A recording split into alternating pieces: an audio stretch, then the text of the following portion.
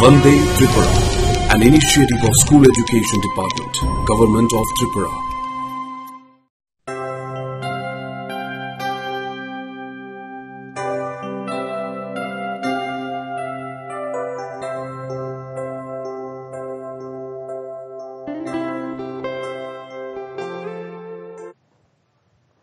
Hello students আশা করি তোমরা সবাই ভালোই আছো আজকে আমরা ইলেকট্রিসিটি অর্থাৎ তড়িৎ। এই চ্যাপ্টারটিকে কন্টিনিউ করব এবং এখানে আরও যে টপিকগুলি সম্পর্কে আমরা আলোচনা করব, সেটা আমি জাস্ট লিখে নিয়েছি, সেটা হচ্ছে ইলেকট্রিক সার্কিট অর্থাৎ তড়িৎ বর্তনী। ওহমস ল খুব ইম্পর্টেন্ট অর্থাৎ ওহমের সূত্র। এবং রেজিস্ট্যান্স অর্থাৎ রোধ।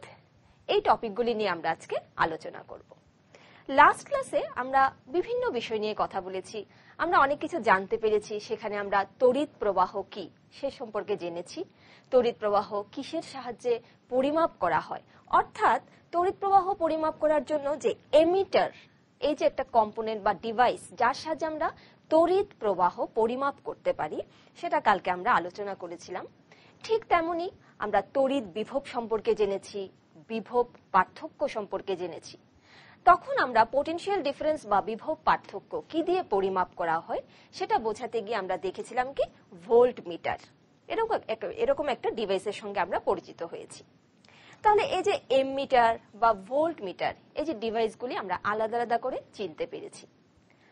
আজকের পড়াতে আমি ইলেকট্রিক সার্কিট বোঝানোর জন্য আরও কিছু কম্পোনেন্টস তোমাদেরকে দেখাবো। যেমন ধরো, এটা হচ্ছে একটা রেজিস্ট্যান্স বক্স যেখানে ফিফটিন ওহম রেজিস্ট্যান্স দেওয়া আছে। তারপর এটা হচ্ছে একটা সেল আমরা সবাই জানি, এটা আমরা একটা সেল দেখতে পাচ্ছি।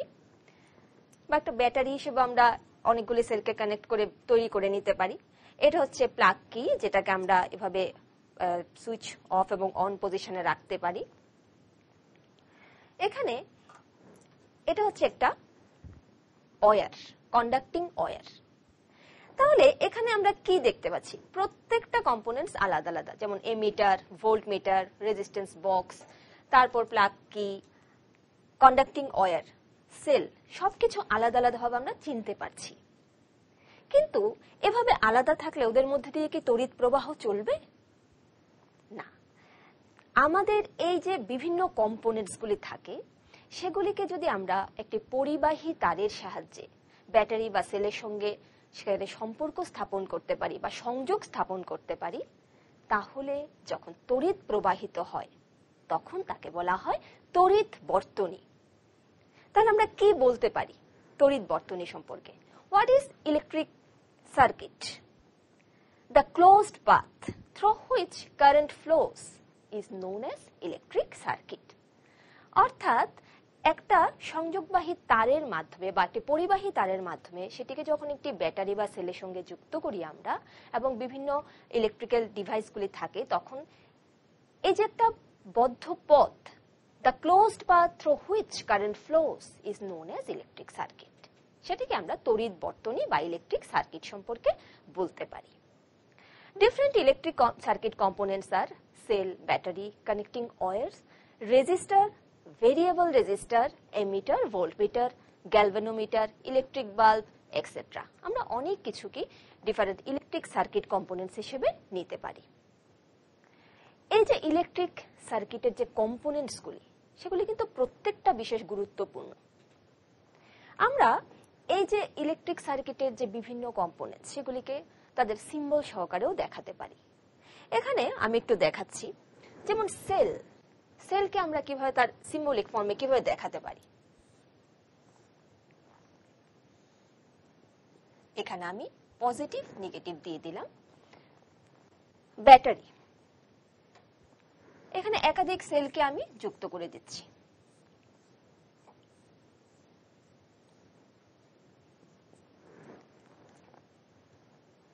তারপর আছে প্লাগ কি ওপেন প্লাগ আমরা এই প্রত্যেকটা জিনিস কিন্তু ইউজ করে একটা ইলেকট্রিক সার্কিট বানাতে পারি। প্লাগ কি ক্লোজড প্লাগ কি ক্লোজড মানে কখন? প্লাগ কি যখন আমরা ক্লোজড সিচুয়েশনে থাকে, তখনই কিন্তু সেই ক্লোজড পাথের মধ্যে দিয়ে ইলেকট্রিক কারেন্ট ফ্লো করে। অয়ের কানেক্টিং অয়ার্স রেজিস্ট্যান্স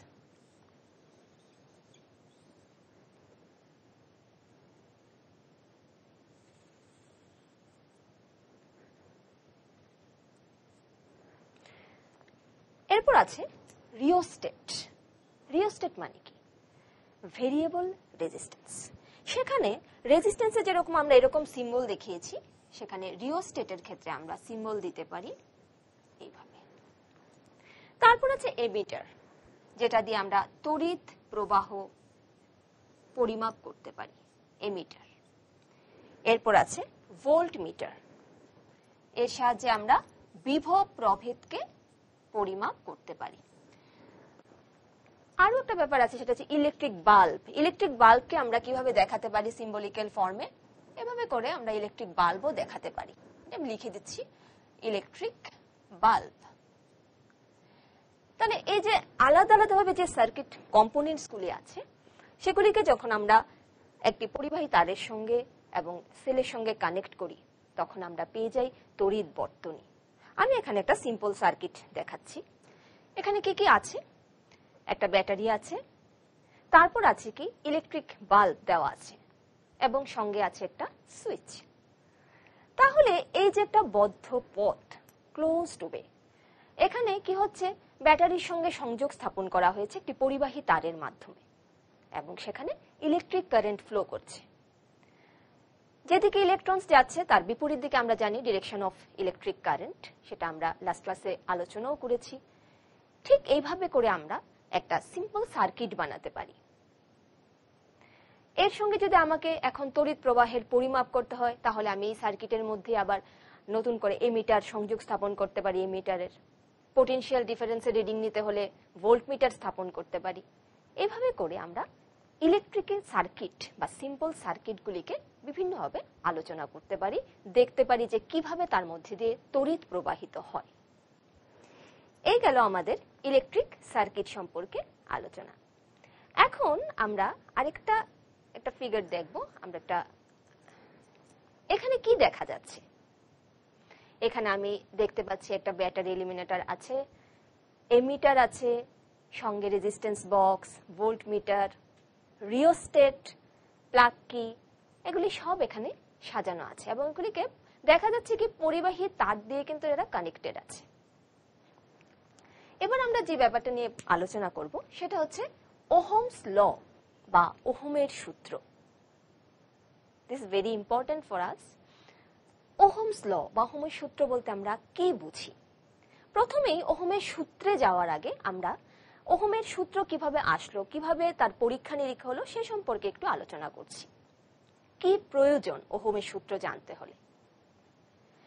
ওহমের সূত্র, This is the relation between the current I and the potential difference V across the terminals. তাহলে এখানে সম্পর্কটা হচ্ছে বিভব প্রভেদ বা পোটেনশিয়াল ডিফারেন্স ভি এবং কারেন্ট বা তড়িৎ প্রবাহ আই এর মধ্যে। আমরা জানি আই বা কারেন্টকে আমরা এমিটারের সাহায্যে পরিমাপ করি এবং পোটেনশিয়াল ডিফারেন্সকে ভি এর সাহায্যে পরিমাপ করি। ব্যাটারি আমাদের যে কোনো সিম্পল সার্কিট তৈরি করতে হলে বা একটা সার্কিট বানাতে হলে ব্যাটারি খুব প্রয়োজনীয়, ব্যাটারি তো লাগবেই। সঙ্গে আমাদের আছে রিওস্টেট রিওস্টেটের সাহায্যে কি করা হয়? দিস ইজ ভেরিয়েবল রেজিস্ট্যান্স রেজিস্ট্যান্সকে একটু চেঞ্জ করে সেখানে আমরা কারেন্টের পরিমাপ নিই, যেখানে পোটেনশিয়াল ডিফারেন্স আনচেঞ্জ থাকে। প্লাক্কি প্লাক্কিতে আমরা প্লাক্কিকে ক্লোজড অবস্থায় রাখলে আমরা বদ্ধ বর্তনী পাই, যার মধ্যে দিয়ে কন্টিনিউয়াস কারেন্ট ফ্লো হয়। এখন আমি যদি একটা নাইক্রোম তার ইউজ করি বা ওই তারটি যদি আমি রেজিস্ট্যান্স বের করতে চাই, তাহলে আমাদের কি করতে হবে? আমরা লাস্ট ক্লাসে জেনেছি যে ভোল্ট মিটারের সঙ্গে প্যারালাল কানেকশন আমরা করি। তো এই পরীক্ষাটা যখন আমরা শুরু করলাম মানে সিম্পল সার্কিট তৈরি করার পরে যখন মানে তখন যখন সেখানে কারেন্ট ফ্লো করা হলো মানে যখন তড়িৎ প্রবাহিত হলো, তখন পোটেনশিয়াল ডিফারেন্স ভি এবং আই এর বিভিন্নভাবে রিডিং নেওয়া হলো। চার পাঁচটা রিডিং নিলে দেখা যায় কি, এই যে রিলেশন পোটেনশিয়াল ডিফারেন্স এবং কারেন্টের মধ্যে যে রিলেশন সেখানে প্রতি ক্ষেত্রে ভি বাই আই এর অনুপাত সম্ভবত কাছাকাছি থাকে নিয়ার অ্যাবাউট সেম থাকে।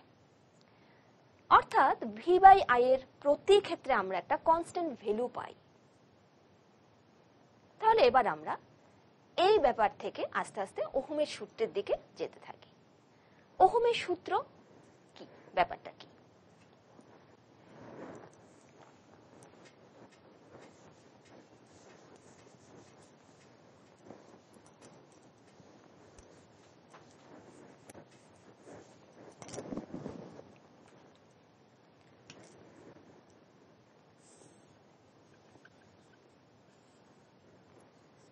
আমি এখানে দুটো পয়েন্ট নিলাম ভিএ এবং ভিবি যেখানে ভিএ ভিবি লিখে দিলাম পোটেনশিয়াল রেজিস্ট্যান্স আর এটা দেখানো হচ্ছে। আর এখানে কারেন্ট প্রবাহিত হচ্ছে আই এবং এখানে ভি এ ভিবি না লিখে আমি যদি ডাইরেক্ট এখানে পোটেনশিয়াল ডিফারেন্স ডাইরেক্ট আমি লিখে দিয়ে দিলাম ভি আর আমি এখানে লিখে দিলাম। একটা প্র- পরিবাহী পরিবাহী তার এখানে দেখানো হচ্ছে এবি এর মধ্যে দিয়ে কি হচ্ছে? এখানে কারেন্ট আই প্রবাহিত হচ্ছে বা তড়িৎ প্রবাহিত হচ্ছে এবং পোটেনশিয়াল ডিফারেন্সটা হচ্ছে ভি তাহলে আমরা কি জানি? ওহমস লর ক্ষেত্রে this is the relation between the current I and the potential difference V across the terminals তাহলে রিলেশনটা কি? The potential difference V across the metallic wire in an electric circuit is directly proportional to the flow of current তাহলে আমার এখানে current কি আছে? I I proportional V or V proportional I আমরা লিখতে পারি। এখন আমি জেনে গেলাম কি যে ওহমস ল অনুযায়ী আমরা যদি এখানে ভি প্রপোর্শনাল আই লিখি, অর্থাৎ কারেন্ট এবং পোটেনশিয়াল ডিফারেন্সের মধ্যে যদি রিলেশনটা এরকম হয় ভি প্রপোর্শনাল আই তখন আমরা সেখান থেকে লিখতে পারি or V equals to R I এখন এই আর আর সম্পর্কে আমরা জানব। দিস আর ইজ কনস্ট্যান্ট আমি বললাম যে, আমরা যখন রিডিং নিয়েছিলাম পরপর, তখন দেখা গেছে কি, এই যে ভি বাই অনু আই এর অনুপাত, এটা কনস্ট্যান্ট আসছে এবং প্রতি ক্ষেত্রে প্রায় সমান, একই রকম আসছিল তাহলে এই যে আর আর কে আমরা কি লিখতে পারি? R equals to V by I তাহলে আমরা ওহমের সূত্র থেকে ultimate R equals to V by I এই সম্পর্কটা পেলাম। এই যে আর আর কে বলা হয় রেজিস্ট্যান্স বা রোধ। তাহলে R equals to V by I এই যে রেজিস্ট্যান্স বা রোধ, আমরা কি বলতে পারছি দেখুন? প্রথম আমরা ওহমস লটা একবার বলে নিই। আমরা কি জানি, নির্দিষ্ট উষ্ণতা এবং চাপে। বা অন্যান্য ভৌত অবস্থায় যদি অপরিবর্তিত থাকে তাহলে কোনো পরিবাহীর দুই প্রান্তের বিভব পার্থক্য এবং তার মধ্যে দিয়ে যে কারেন্ট বা তড়িৎ প্রবাহিত হয় ওরা পরস্পরের সঙ্গে সমানুপাতিক অর্থাৎ V proportional I V equals to R I R equals to V by I The potential difference V across the metallic wire in an electric circuit is directly proportional to the current flowing through it, provided temperature and pressure remains same. This is known as Ohm's law. এখন, এখানে আমি একটা একটা figure একটু আমরা দেখছি এখানে দুটো টার্মিনালের মধ্যে পোটেনশিয়াল ডিফারেন্স ভি আর রেজিস্ট্যান্স আই কারেন্ট প্রবাহিত হচ্ছে সেখানে তাহলে এখানে ওহমস ল অনুযায়ী আমি যেটা পেলাম R equals to constant this R is known as resistance and the next point what is the SI unit of resistance আমরা কি জানি? এই যে V by I equals to R V potential difference potential ডিফারেন্সের আমরা SI unit জানি volt আর I এর জন্য আমরা জানি এম্পিয়ার ভোল্ট বাই এম্পিয়ার এই ভোল্ট বাই এম্পিয়ার এখন আর এর যে ইউনিট এসআই ইউনিট সেটাকে বলা হয় ওহম। তাহলে আমরা কি লিখতে পারি? Ohm equals to volt by ampere এখন, এরকম কোশ্চেন যদি আসে one ohm what do mean by one ohm or define one ohm resistance তখন সেটাকে আমরা কি বলব? বিভব পার্থক্য যদি এক ভোল্ট হয় এবং তার মধ্যে যদি তড়িৎ প্রবাহের মাত্রা এক এম্পিয়ার হয়, তখন তাদের যে অনুপাত সেটা হচ্ছে এক ওহম। রেজিস্ট্যান্সের এই যে ইউনিট ওহম, ওহমকে আমরা কীভাবে এক্সপ্রেস করতে পারি? ওহমকে এইভাবেও এক্সপ্রেস করা যায়।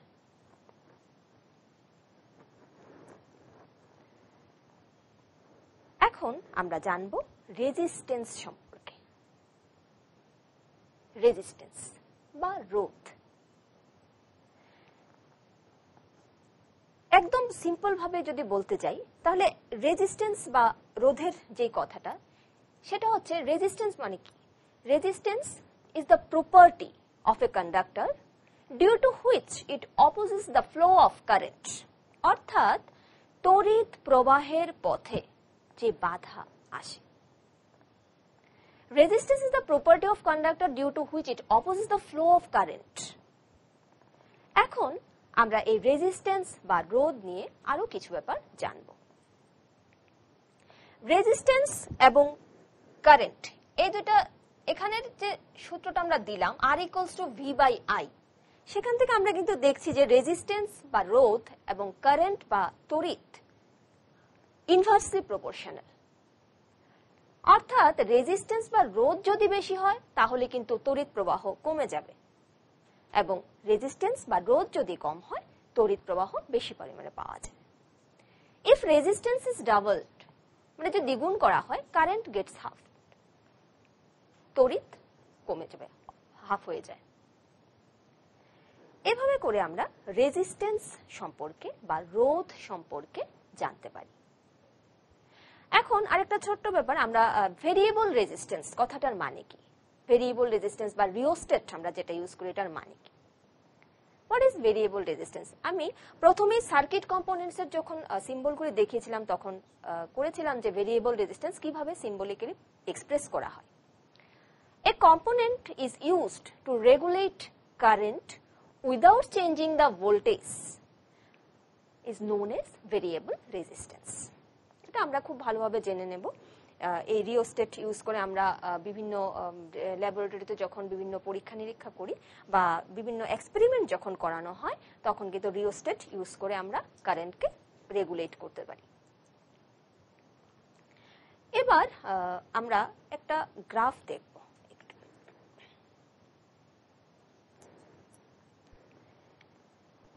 আই এবং ভি বা ভি প্রপোর্শনাল আই যেটাই বলি সেখানে যদি আমি একটা গ্রাফ আঁকি বা ওই পয়েন্টগুলিকে যদি আমরা একটা গ্রাফ পেপারে প্লট করি, তাহলে কি পাওয়া যায়?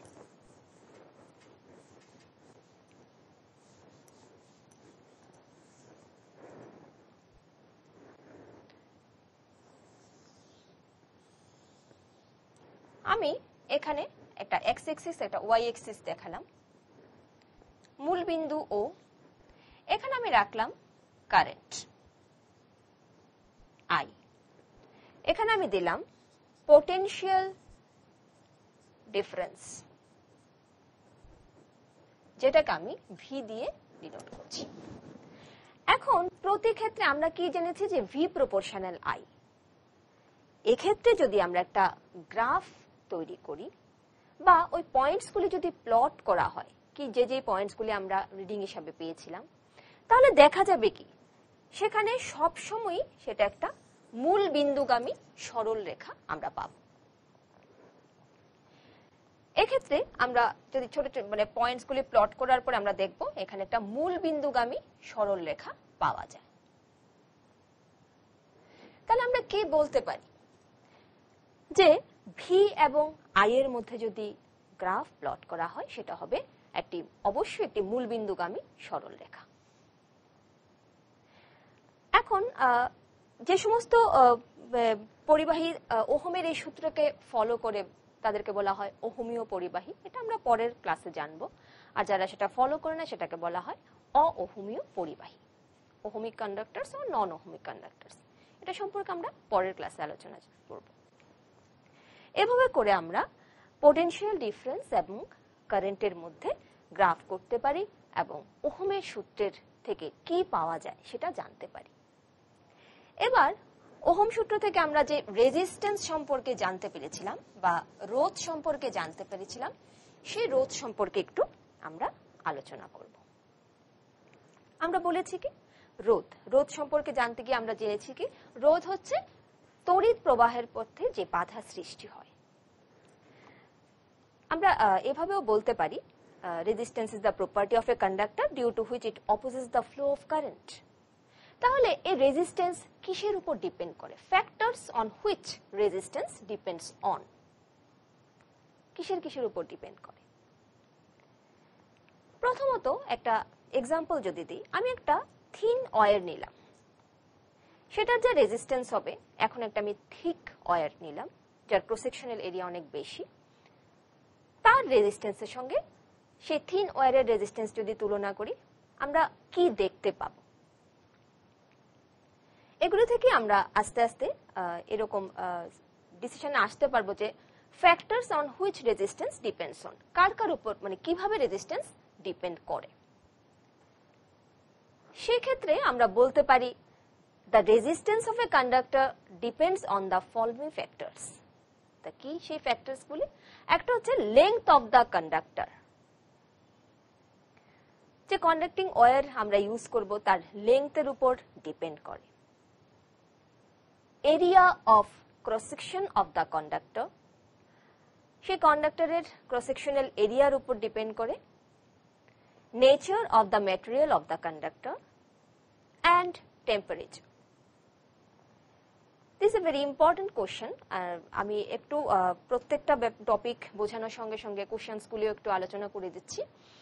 তো আমরা এটা অবশ্যই পড়ব যে factors on which resistance depends on এরপর আমরা যে পয়েন্টসটাতে যাব, এই যে লেংথের উপর ডিপেন্ড করা বা ক্রোসেকশনাল এরিয়ার উপর ডিপেন্ড করা, এটা ইউজ করে আমরা এখন পড়ব স্পেসিফিক রেজিস্ট্যান্স অর রেজিস্টিভিটি বা রোধাঙ্ক বা আপেক্ষিক রোধ কাকে বলে, সেটা সম্পর্কে আমরা এখন জানব। যে কোনো একটা, আমার কাছে একটা, ধরলাম একটা থিন অয়ের আছে। তো রেজিস্ট্যান্সের ক্ষেত্রে বা রোধের ক্ষেত্রে আমরা বলতে পারি কি, রোধ দৈর্ঘ্যের সঙ্গে মানে যে পরিবাহী তার ইউজ করা হয় তার দৈর্ঘ্যের সঙ্গে সমানুপাতিক। Or we can say that are proportional to L সেকেন্ডটাতে কি বলতে পারি? ক্রস সেকশনাল এরিয়ার উপর রেজিস্ট্যান্স ডিপেন্ডস করে। কি রিলেশনে ডিপেন্ড করে? R is inversely proportional to A আমরা দুটা সমীকরণ পেলাম, একটা হচ্ছে আর প্রপোর্শনাল এল একটা হচ্ছে আর ইনভার্সলি প্রপোর্শনাল টু এ এখন এই দুটি ইকুয়েশনকে যদি আমরা কম্বাইন করি, তাহলে আমরা কি পাই? আর প্রপোর্শনাল এল বাই এ এটা থেকে আমরা কি লিখতে পারি? Or R equals to rho into L by A এই যে রো রো আমি এটা এখানে দেখালাম। R equals to rho into L by A এটার এক্সপ্রেশনটা হচ্ছে এভাবে দ্যাট মিনস এটা কাকে বলা হয় rho this row we can write that r into a by l also এই যে রো একেই বলা হয় রোধাঙ্ক বা আপেক্ষিক রোধ বা আমরা বলতে পারি স্পেসিফিক রেজিস্ট্যান্স অর রেজিস্টিভিটি আমি আবার একটু ডিসকাস করছি resistance is always proportional to L length of the conductor and resistance is inversely proportional to cross sectional area A. By combining these two equations we get R proportional L by A whereas R equals to rho into L by A. This rho is known as specific resistance or resistivity and we can write rho is equal to R into A by L. এখন আমরা পরের যে point এটাকে দেখছি what is the SI unit of resistivity or specific resistance এক্ষেত্রে আরও একটা ব্যাপার আমি একটু ডিসকাস করছি এখানে যদি ইউনিট লেংথ হয় এবং ইউনিট ক্রস সেকশনাল এরিয়া হয় তাহলে আমরা কি পাই rho is equal to R means specific resistance or resistivity is the resistance of unit length and unit cross sectional area. এখন আমরা যদি এই রো বা স্পেসিফিক রেজিস্ট্যান্স অর রেজিস্টিভিটি এটা যদি এসআই ইউনিট বের করতে যাই, তাহলে আমরা কি করব? এখানে আমি দেখাচ্ছি। Rho equals to R into A by L R what is the SI unit of R? We know that it's ohm into A. A means we know that SI unit meter square and for length we can write meter. So we can write ohm meter. This is the SI unit of specific resistance or resistivity. Ohm meter. So in that way we can discuss about the specific resistance or resistivity. এরপর আমি একটা ছোট একটা question একটু discuss করছি Why are the conductors of electric heating devices such as bread toaster, electric irons made of an alloy rather than a pure metal? আমরা কি জানি resistivity of alloy is higher than the resistivity of its constituent metals. Alloys don't burn at high temperatures, hence they are used in electrical heating device and uh, like electric iron, toaster, etc. এভাবে করে আমরা ছোট ছোট কোশ্চানসগুলি আমরা discuss করব এবং পরবর্তী সময় এগুলি নিয়ে আমরা আরও আলোচনা করব। এখন একটা ছোট নিউমেরিক্যাল এক্সাম্পল আমরা একটু দেখছি। If the resistance of your body is ten to the power five ohm what would be the current that flows in your body when you touch the terminals of a twelve volt battery এই কোশ্চেনটাতে কি দেওয়া আছে? এখানে potential difference আমরা পেয়ে গেছি, v equals to 12 and current তোমাকে বের করতে হবে কি? তোমাকে কারেন্ট বের করতে হবে। তাহলে আমরা ফর্মুলা জানি কি? আমাদের কাছে ফর্মুলা জানা আছে যে ওহমের সূত্র থেকে আমরা যে ফর্মুলা পেয়েছি, সেটা হচ্ছে V equals to R I এখন আমাকে আই বের করতে পারে। তাহলে আমি ডাইরেক্ট লিখতে পারি I equals to V by R তাহলে আমাকে আর দেওয়া আছে ten to the power five R V দেওয়া আছে টুয়েলভ ভোল্ট তাহলে আমি আই বা current equals to twelve into ten to the power minus five আমরা জানি কারেন্ট বা তড়িৎ প্রবাহের একক হচ্ছে এম্পিয়ার এভাবে করে আমরা সলভ করতে পারি। Next question calculate the resistance of an electric bulb which allows a 10 ampere current when connected to a 220 volt power source. In the same way, সেখানে কি আছে? কারেন্ট দেওয়া আছে এবং ভোল্টেজ দেওয়া আছে টু টোয়েন্টি ভোল্ট তাহলে সেম ওয়েতে আমরা ওহমের সূত্র অ্যাপ্লাই করে আমরা কি করতে পারি? আমরা জানি this is V equals to R I এখানে কি কি দেওয়া আছে? আমরা এটা আগে দেখে নেব। কোশ্চেনে দেওয়া আছে কি ক্যালকুলেট দ্য রেজিস্ট্যান্স তাহলে R equals to V by I or R equals to V হচ্ছে টু টোয়েন্টি ভোল্ট আর আই কত দেওয়া আছে কোশ্চেনে ten ampere 10 ampere. So it will be 22 resistance এর ইউনিট আমরা জানি ওহম 22 ওহম. এভাবে করে আমরা ছোট ছোট নিউমেরিক্যাল এক্সাম্পলগুলি সলভ করব। নেক্সট আরেকটা কোশ্চেন আমরা একটু সলভ করার করতে চেষ্টা করছি A piece of wire of resistance 20 ohm is drawn out so that its length is increased twice its original length. Calculate the resistance of the wire. খুব ইম্পর্ট্যান্ট একটা ফর্মুলা সেখানে ইউজ হচ্ছে, যেটা আমরা স্পেসিফিক রেজিস্ট্যান্স থেকে জেনেছি একটু আগে R equals to rho into L by A এটাকে আমি এক নাম্বার দিয়ে রাখলাম এখানে কি বলা আছে? A piece of wire resistance 20 ohm is drawn out so that its length is increased twice, its original length. So original লেংথের থেকে টুয়াইস টুয়াইস লেংথ ইনক্রিজ করল। In the first case we can write R equals to rho into L by A next time কি হলো? আমি এটাকে R prime দিয়ে denote করলাম। R prime equals to rho into আমার length কি হলো? টুয়াইস ইন্টু টুয়াইস এল আর ক্রস সেকশনাল এরিয়া তাহলে কি হয়ে যাবে? এ বাই টু লিখে দিলাম এ বাই টু তাহলে কোশ্চেনে দেওয়া আছে যে রেজিস্ট্যান্স হচ্ছে টোয়েন্টি ওহম। এখান থেকে আমরা কি পাই? টু উপরে আসলে four into rho into L by A R prime equals to four into rho into L by A. So, what we know about rho into L by A? This is nothing but that R and this R is 20 ohm. It is given in the question. So what we can write R prime equals to 4 into 20 ohm. That means 80 ohm. R prime equals to 80 ohm. তো আহ, এভাবে আমরা আহ, একে একে বিভিন্ন ছোট ছোট numerical class টেনে it's very easy numericals আমরা সেখানে সলভ করি তো এভাবে করে আমরা নিউমারিক্যাল এক্সাম্পলগুলি সলভ করব এবং এই সম্প, এই টপিকগুলি সম্পর্কে আমরা ভালোভাবে পড়ব এবং আমি যেটা ডিসকাস করার electric circuit ohm's law resistance এগুলি আমরা খুব ভালোভাবে আমরা শিখে নেব। তো, বাকি ক্লাসে অন্যগুলি আমরা আলোচনা করব। সে পর্যন্ত সবাই ভালো থাকো। Thank you